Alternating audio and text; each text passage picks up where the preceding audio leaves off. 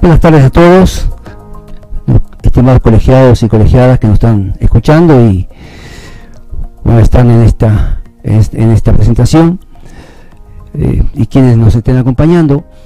Hoy nos vamos a referir a el mundo peregrino.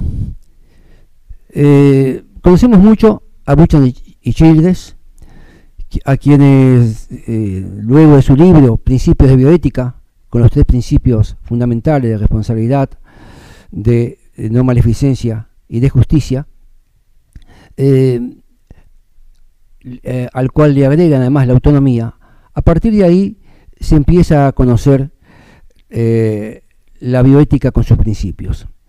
Pero en la década del 70, el término bioético fue utilizado por primera vez en América por Potter, por Van Resener Potter, a quien se adjudica la creación de este término, por lo cual sería un neologismo. Bioética sería una palabra creada, una palabra nueva, un neologismo.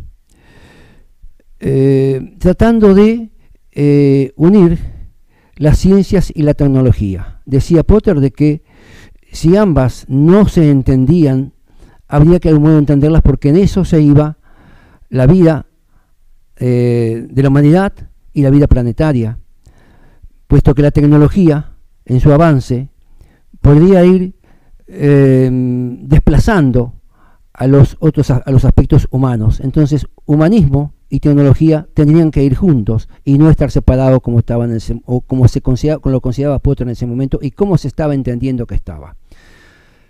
Eh, Potter en, Puentes al Futuro, la bioética Puente al Futuro, fue en la década del 70.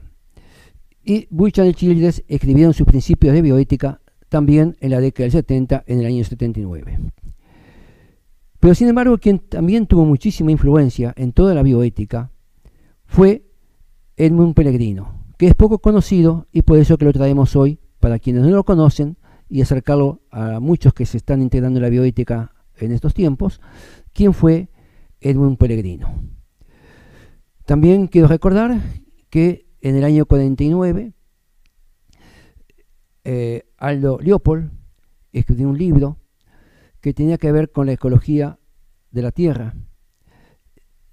Y también está dentro de, fue, eh, digamos, en quien, en quien Potter también se apoyó cuando habló de ciencia y tecnología, humanidades y tecnología, que deben estar, eh, digamos, eh, perfectamente eh, intrincadas ambas en forma equilibrada para bien de la humanidad. Y Fritz Hayek, en Alemania, en el año 1927, también escribió sobre bioética y, y utilizó el término bioética, pero era, eh, en esa época, eran los, todos los problemas de las guerras mundiales, las malas relaciones entre Estados Unidos y Alemania y Europa, eh, las relaciones internacionales que había, por lo cual posiblemente no fue conocido eh, Fritz pero los términos bioéticas fueron primeramente utilizados por, eh, por en el 27 y por Potter en, en el año 70. Pero vamos a referir a Edmund Pellegrino. La primera presentación, por favor.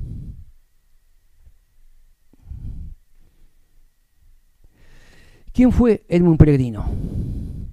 Edmund Pellegrino nació en el año 1920 y falleció en el año 2013 a los 93 años. Acá en esta diapositiva estamos, tenemos un cuadro de Picasso, Ciencia y Caridad, que es a propósito de lo que Edmund Pellegrino predicó, digamos, de su filosofía.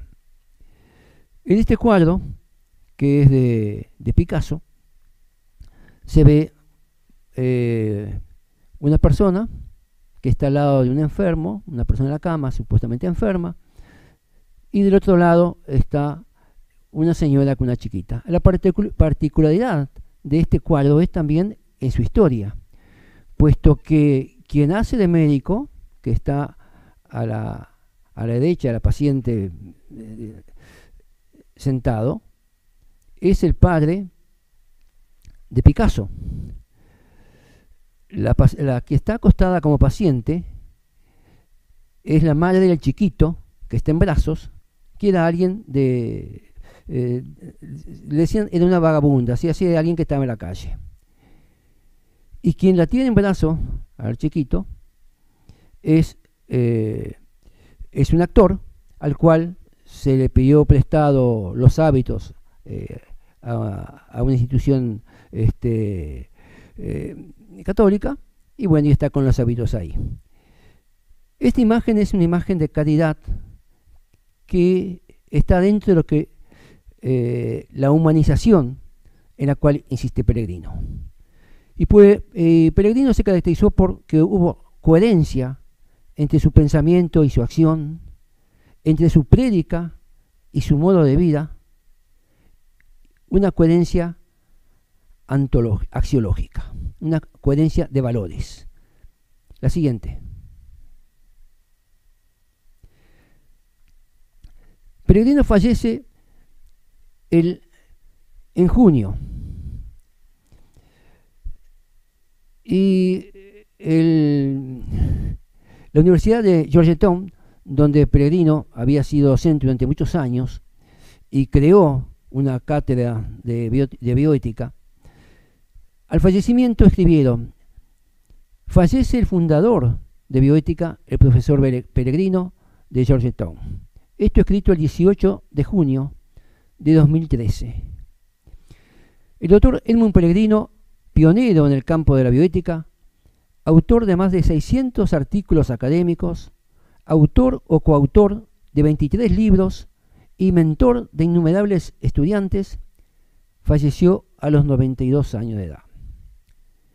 El pionero en bioética, doctor Emundo Peregrino, a quienes ven ustedes ahí en una conferencia, habla durante un simposio a principios de este año, decían en el año 2013, cuando el Centro Médico de la Universidad de Georgetown lo honró cambiando el nombre del centro de bioética que fundó, que fundó Peregrino, pasó a llamarse Centro Mundo Peregrino de Bioética Clínica. Decía además el doctor Edmund Peregrino que habría cumplido 93 años el 22 de junio, recuerden que falleció el 18, murió el 13 de junio, perdón, este, y hubiera cumplido 93 años eh, una semana y poco después, era profesor emérito de Medicina y Física Médica e investigador principal del Instituto de Ética Kennedy de Georgetown. Murió el 13 de junio y será sepultado mañana durante una misa de entierro cristiano en la iglesia de la Pequeña Flor de en Bethesda, Maryland, al mediodía, y seguirá un entierro privado. Peregrino era un católico eh, eh, practicante. Considerado uno de los fundadores de la bioética y pionero en la enseñanza de humanidades en la Facultad de Medicina. Eso escribían en la página de la Universidad eh, de Georgetown, en la página web. Acá lo vemos con Maggie Little, que era directora del Instituto Kennedy de Ética, discuten sobre bioética durante un evento en 2009 en Georgetown. Tenía en este momento 89 años.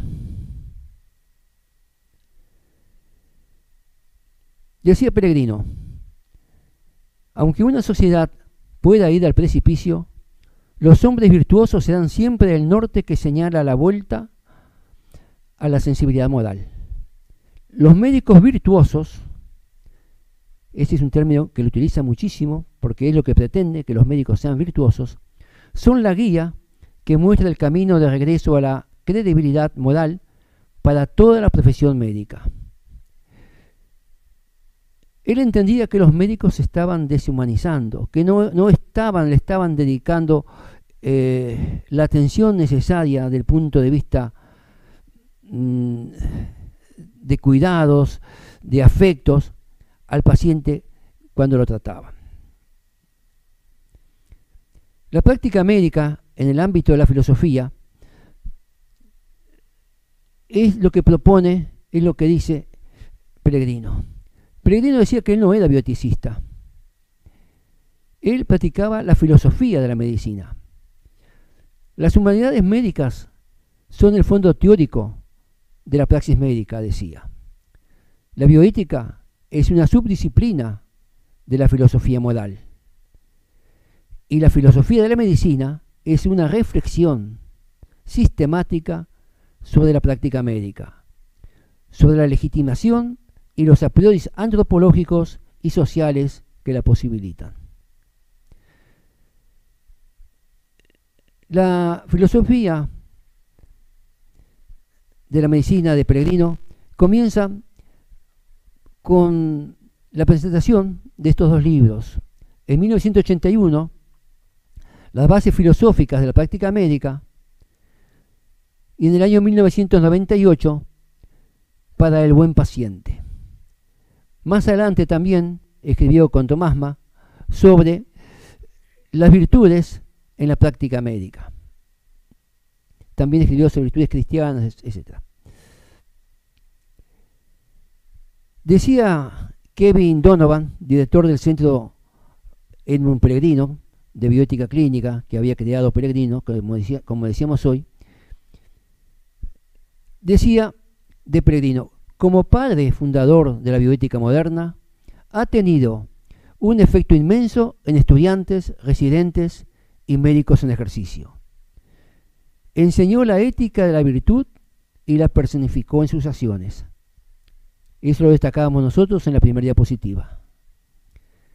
Siempre recordó nuestra atención a la base de la práctica médica, la primacía de la relación médico-paciente. Ahí lo vemos en una clase con sus alumnos. Pellegrino también tenía la práctica de fundar centros o instituciones prestigiosos en Georgetown y luego pasar a crear más. Decía él, nunca miro hacia atrás y siempre he cambiado de trabajo porque he logrado lo que me propuse lograr. Eso le decía en, una entrevista que le hicieron de la revista Magazine en 1996, la revista Georgetown Magazine. No siento posesión, aunque he comenzado más de tres instituciones desde cero, no siento que me pertenezcan. Me encanta empezar y entregárselo a otra persona. En ese momento tenía 76 años y se levantaba todas las mañanas a las 4 de la mañana para escribir sobre los acertijos de la ética médica. Quien lo había entrevistado para esa revista Magazine decía, es un hombre pequeño y esbelto con un currículum vitae del tamaño de una tesis doctoral.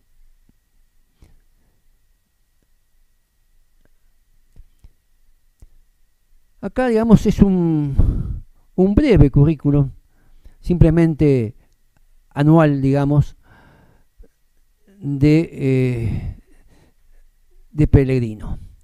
En 1953 se convierte en presidente fundador de medicina en Hunterdon Medical Center de Nueva Jersey.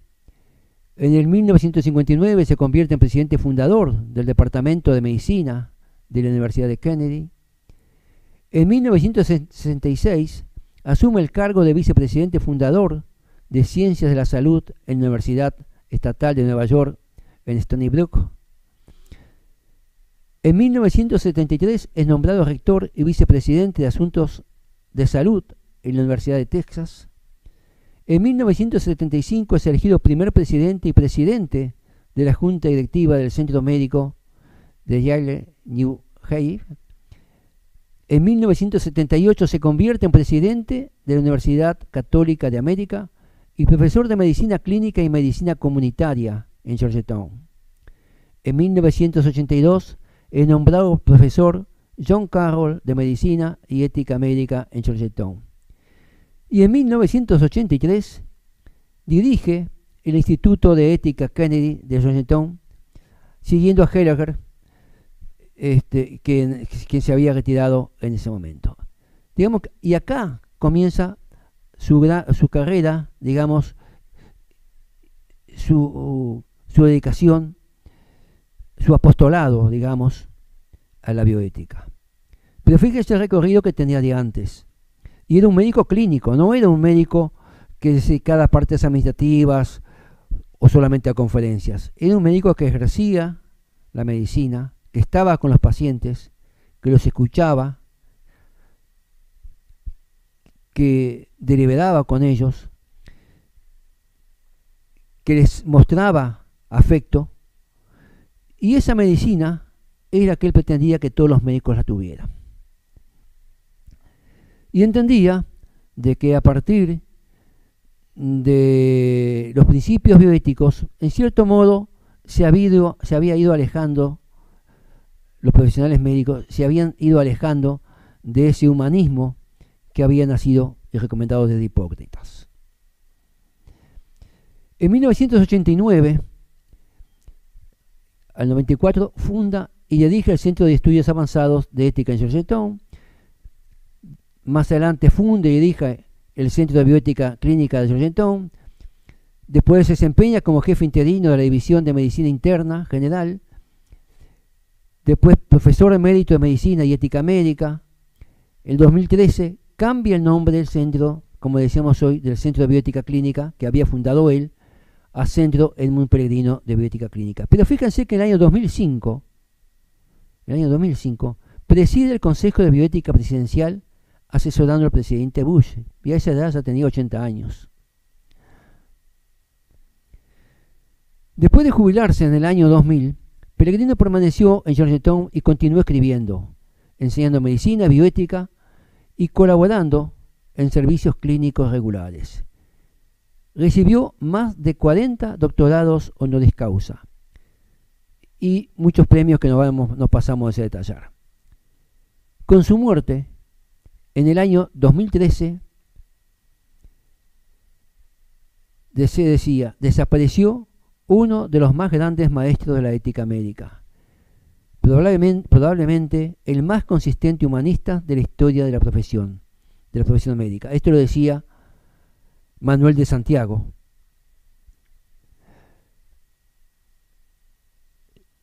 Eh, se hace eco de la extraordinaria valoración con que Buchan, Buchan y Childress, del cual hoy hacíamos referencia, del libro de Principios de Ética, Buchan decía, hacía de la obra de Peregrino al decir que nadie, desde Hipócrates a Percival, a Thomas Percival, un médico inglés, este, también digamos que empezó con, la ética en medicina,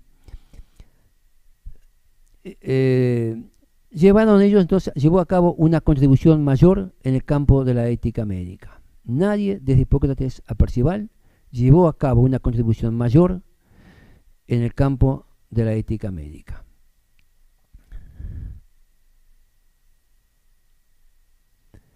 A finales de los años 70, da el paso definitivo hacia el ámbito de la bioética, o ética médica, como él prefería denominarlo. El detonante de ese cambio fue su convicción de que la medicina es fundamentalmente una actividad moral. Solía definirla como la más científica de las humanidades y la más humanística de las ciencias. Se refería a los aspectos morales y a la humanidad. El humanismo necesario que deben tener los profesionales médicos. En colaboración con Tomás, con David Tomás, eh, Tomásma, eh, que era filósofo, Peregrino desarrolla su proyecto humanista a partir de los dos volúmenes que habíamos mencionado hoy. Dos volúmenes, digamos, que marcan ese comienzo como bioticistas y que son libros este, con el gran contenido humanístico que pretende y promociona, promocionaba Peregrino. Las bases filosóficas de la práctica médica y para el bien del paciente. El humanismo médico de Peregrino se sitúa críticamente frente a la bioética centrada unilateralmente al paciente y, fundamenta, y fundamentada en el modelo contractualista. Es decir, la autonomía eh, estaba siendo como lo más importante dentro de esos principios que si bien son principios prima facie, es decir, ninguno tendría eh, prioridad o mayor eh, fortaleza frente a los demás, autonomía, beneficencia, no maleficencia y justicia, todos valdrían, los mismos, en la práctica se estaba dando que el valor fundamental de la autonomía. Y en esa autonomía había una especie de contrato. Y ese contrato era lo que llevaba a la atención y regulaba las acciones, o la relación, mejor dicho, entre el médico y el paciente.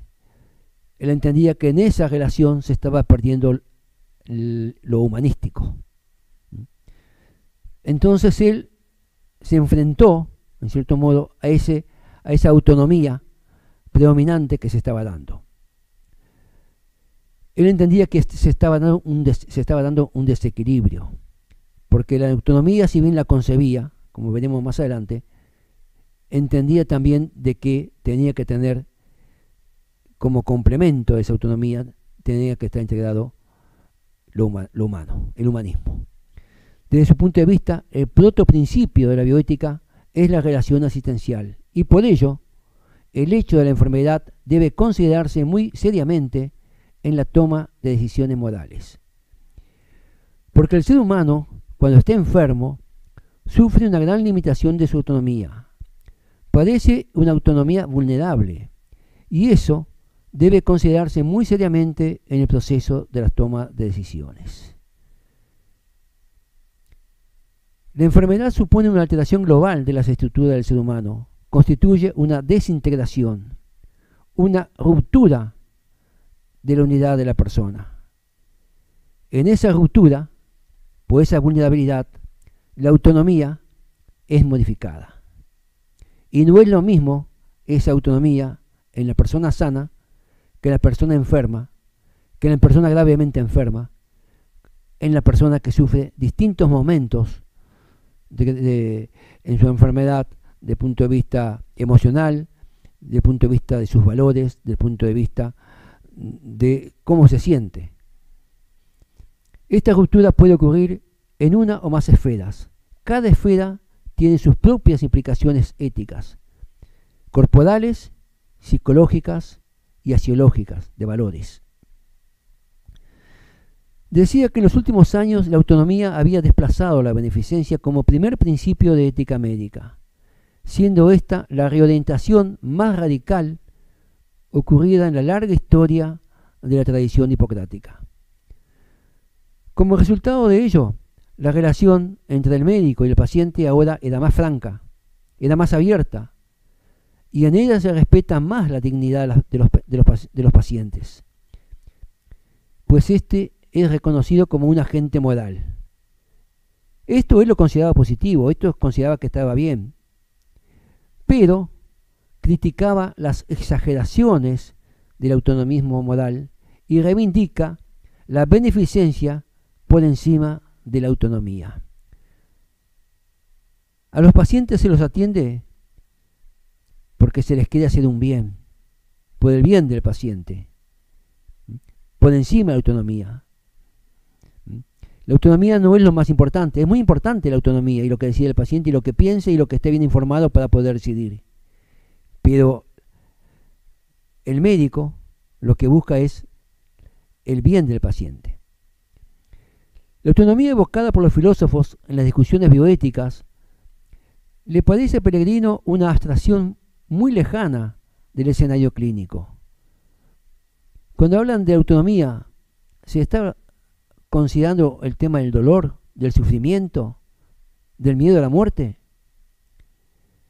Pues desde esa perspectiva práctica y teórica, la enfermedad conlleva una caotización integral de la interioridad y la exterioridad del paciente, y por lo tanto, una grave reducción de los niveles de autonomía del ser humano.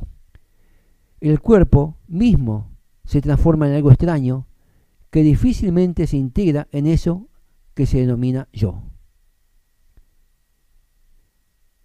Acá es recordable Ortega y Gasset, que decía, yo soy yo, pero en el entorno de mis circunstancias. Y si no cambio mis circunstancias, o si no salvo mis circunstancias, no me salvo yo. Dándole la importancia que es lo interior y lo exterior circundante y todo lo que rodea a ese momento, a esa situación y cómo es la persona. La autonomía es dinámica entonces, no es estática, tiene un movimiento. La dinámica de la autonomía puede ser de progresión o de regresión.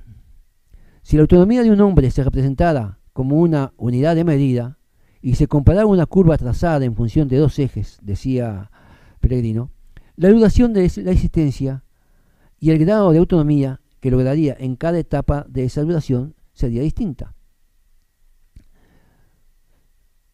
Hagan el ejercicio de una gráfica, colocar en una, por un lado colocar este, en un eje, colocar eh, la autonomía del paciente, cómo está, cómo, se siente, cómo, cómo refiere él que se siente en ese momento, y por el otro lado el tiempo. Y verán que esa no va a ser eh, una línea, sino que va a tener sus altos y sus bajos permanentemente.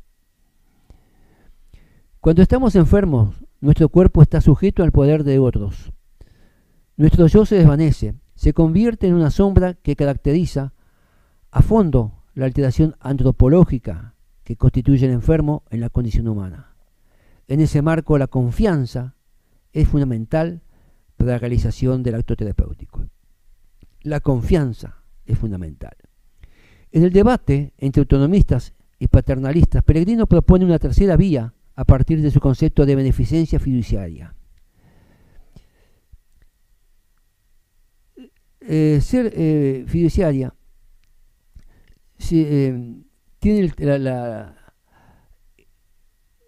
significa hacer algo por el bien, por un bien, que en este caso es el bien del otro. Pretende combinar ambos modelos poniendo de relieve sus correctivos y superando sus extremos unilaterales. Desde su principio filosófico y desde su perspectiva, el paternalismo del médico viola el respeto que debe tenerse a la persona en tanto que es persona, y la autonomía del paciente como principio absoluto erosiona o puede erosionar la independencia de juicio, sea clínico o ético, eh, del médico. La orientación del médico a hacer el bien del paciente y la autonomía de éste no deben considerarse por los opuestos. Ambos buscan lo mismo. El paciente que busca la ayuda, autónomamente busca la ayuda, y el paciente que debe darle esa ayuda. Puede darse que no coincida lo que el médico recomienda y lo que el paciente acepta. Pero en eso se da una deliberación y una deliberación en la cual la parte humana, el humanismo, debe estar presente. La tolerancia, el afecto, el cuidado. Acá toqué algo que estaba mal.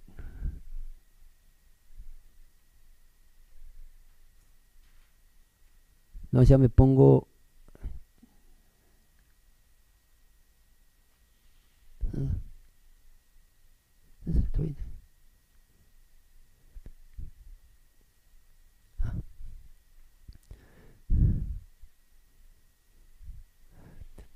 Según Peregrino, la filosofía de la medicina puede considerarse una reflexión racional, crítica y global en torno al acto médico visto íntegramente.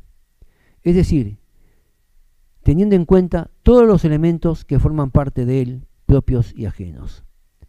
La finalidad última de tal esfuerzo consiste en precisar la finalidad de la medicina y su singularidad en el conjunto de las artes liberales.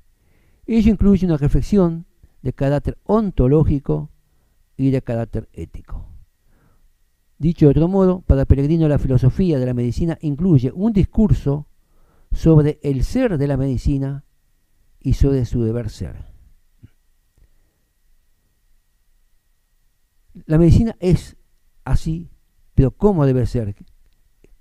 Es lo que es ese cómo debe ser es a lo que se tiene que llegar. No se trata pues de una finalidad meramente especulativa o abstracta, sino en último término es la ética y es la práctica, la práctica médica. no se desarrolla solamente en el plano descriptivo, sino que también en el plano prescriptivo. Por un lado, se trata de analizar ontológicamente lo que es la enfermedad, lo que significa ser paciente, la dinámica de la relación entre profesional y paciente, los modelos de relación, la interacción entre profesional y la institución y el sistema. Sobre todo hoy en día, tengamos en cuenta que en nuestro tipo de asistencia, la asistencia propiamente privada, sin estar vinculada con instituciones, es muy escasa. Fundamentalmente, la relación médica-paciente o equipo de salud paciente está dado también con la relación institucional a la cual pertenece. Pero por otro lado también esboza un ideal, un horizonte ideal de la praxis médica. No se limita exclusivamente a describir lo que es la medicina, sino también lo que debería ser en términos axiomáticos, en términos de valores. Un horizonte de sentido, un significado metamédico más allá del ejercicio de la medicina. Entonces Pellegrino distingue entre lo que es la filosofía de la medicina y la filosofía en la medicina. En la filosofía de la medicina es una reflexión crítica e intelectual sobre el arte terapéutico, en tanto que la filosofía en la medicina se refiere a los aspectos de las raíces filosóficas, etc. Pellegrino es aristotélico tomista, pero incorpora en su visión del hombre, del mundo y de Dios las aportaciones de la fenomenología contemporánea. La fenomenología es el estudio de la conciencia experimentada desde el punto de vista de la primera persona. Es lo interior, es lo interior, es lo que hay que descubrir que pretende eh, Peregrino en su filosofía. El objetivo entonces de la fenomenología es describir la forma en que las cosas se nos aparecen en nuestra experiencia, la forma en que experimentamos las cosas en el mundo circundante. En su descripción del método de investigación en filosofía de la medicina, Peregrino distingue pedagógicamente cuatro eslabones progresivos. Un primer eslabón, que es la descripción de la realidad como la captamos, se trata de observar atentamente la acción terapéutica en el seno de la institución donde tiene lugar y en el marco social, cultural, económico, religioso, donde se inserta la citada institución. Distingue modelos de relación existente, y mercantil, contractual, pactada. Es decir, esta es la relación que hay con la institución en la cual se está asistiendo. el segundo eslabón consiste en practicar una distancia crítica respecto al observado. La reflexión radical que llama él ahonda en la estructura mínima del fenómeno. Esto es la fenomenología, que lo que decimos hoy, ver el interior, ver el por, buscar las causas, el por qué, entender qué es lo que le está pasando en la persona. El tercer eslabón es a partir de eso, ¿cómo vamos a actuar? Aquí se trata, esta es la reflexión crítica, aquí se trata de articular filosóficamente una ontología de la corporeidad, del cuerpo, pues solo desde esta perspectiva puede comprenderse en profundidad lo que significa la experiencia de enfermar y el proceso de sanación del ser humano. La ontología de la corporeidad parte de un análisis fenomenológico del cuerpo humano y a partir de él trata de describir los elementos esenciales que lo integran. De forma más simple, es como ponerse en la situación del otro, ponerse en el otro para poder entenderlo y a partir de ahí, teniendo un diagnóstico, realizar el tratamiento, que es el cuarto eslabón. Es la reflexión práctica, cuya finalidad consiste en aplicar la ontología de la corporalidad a la práctica médica. El ejercicio del acto médico incluye, según Peregrino, cuatro dimensiones, la biológica, la psicológica, la social y la espiritual. Siguiendo un esquema claramente aristotélico tomista, Peregrino define la medicina por su finalidad y no por los conocimientos que la integran. El fin de la medicina estriba en restablecer la salud del paciente y por ello se trata fundamentalmente de una actividad beneficiente. Este es el eje central de la definición de peregrino. Es la beneficencia fiduciaria, la beneficencia en la confianza, que es lo que es el fiduciario, es hacer, el, bien, conseguir algo, hacer algo en confianza, porque, porque está la confianza integrada. El principal recurso de un médico para cuidar a sus pacientes es su propio carácter. Y acá también es algo importante. Es él mismo, con la disposición de un carácter cultivado en el bien, quien deberá interpretar los principios, seleccionar, los principios, seleccionarlos, ordenarlos y moldearlos de acuerdo con su experiencia y con la situación concreta que debe enfrentar.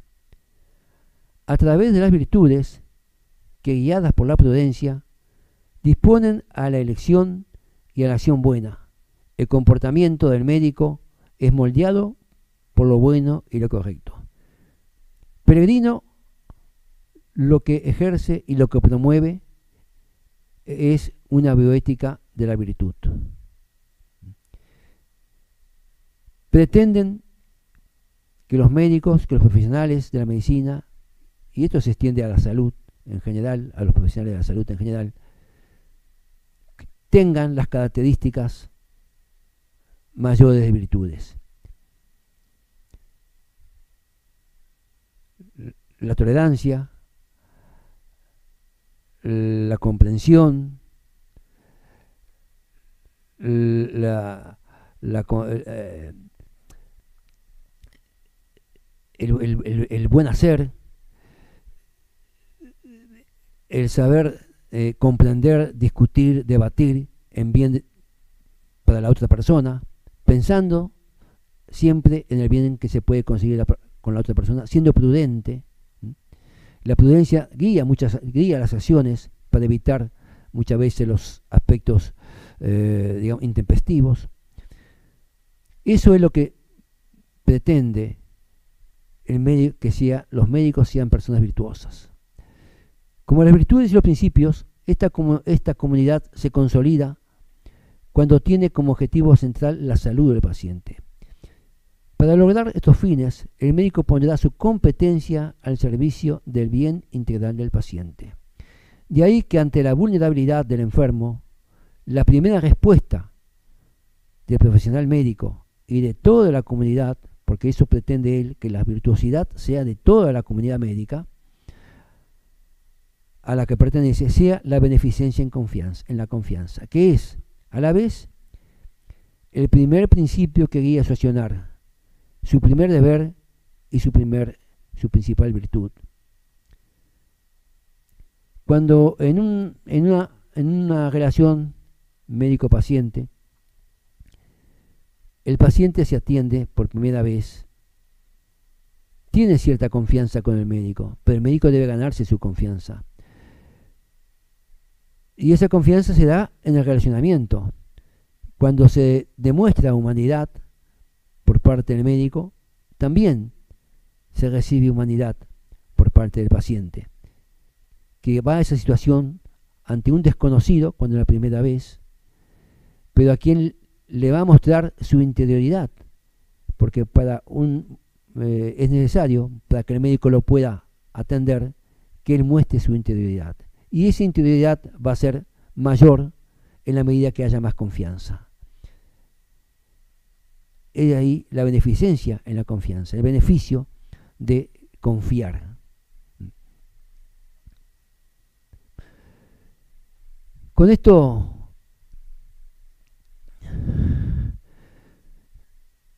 con esto terminamos esta, exposición en la cual les hemos querido traer a conocimiento, muchos ya lo conocerán, al doctor Pellegrino, un médico humanista del cual consideramos como médicos y particularmente desde la bioética que debemos tener muy en cuenta cuál fue su, su modo de vida desde el punto de vista profesional y lo que aportó a la medicina y a la humanidad. Bueno, muchas gracias por vuestra atención y los invitamos para el próximo miércoles, también a las 14 horas, eh, la charla que está a cargo de la doctora Rita Rufo, que se da sobre cuidados paliativos, una mirada desde la bioética. Bueno, buenas tardes para todos.